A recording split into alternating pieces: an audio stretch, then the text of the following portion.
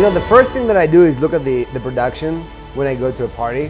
So I think this production was really like got me really turned on to my music as soon as I got there. Last year was amazing, but we stepped it up this year, brought in some lasers from Europe. Um, obviously had to bring in that space vibe, and this year it is so clean, so sexy, and just enormous.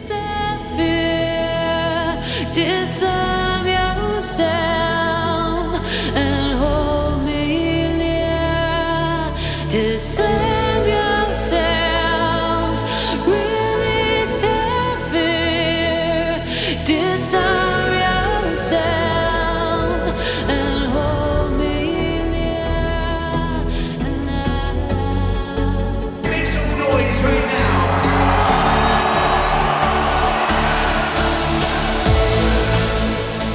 describe it with one word, it's like hectic, but good. You know, I do something I really enjoy and I really like, so basically it comes really naturally.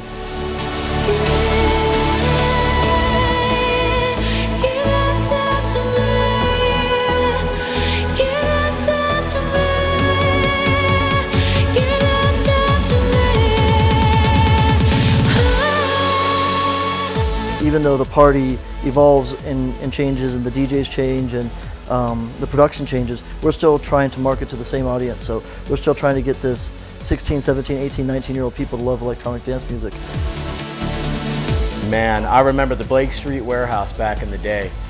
Saw Rabbit in the Moon for the first time and he blew my mind. And then to go from there to Bishop's Castle in Pueblo, which is four hours away, in the largest man-made structure to the Denver Coliseum on a massive level. It's just, it's like watching my little baby girl growing up.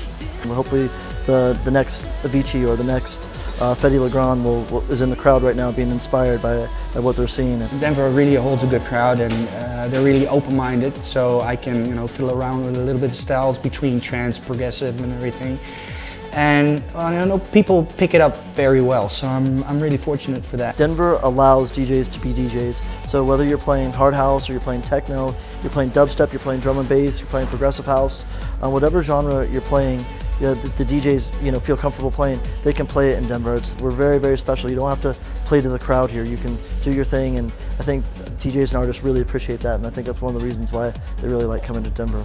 The vibe is off the chains right now. Skylab 2011 is a massive success. We want to thank everybody from Colorado. You guys bring the party, and we couldn't have done this without you guys.